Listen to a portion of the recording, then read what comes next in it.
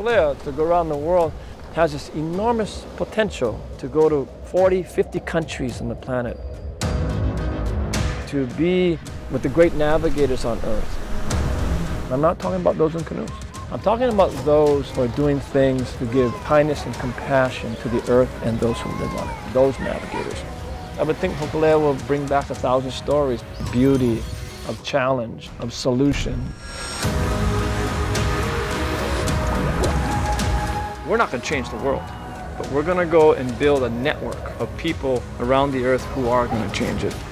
And our job is to help them be successful.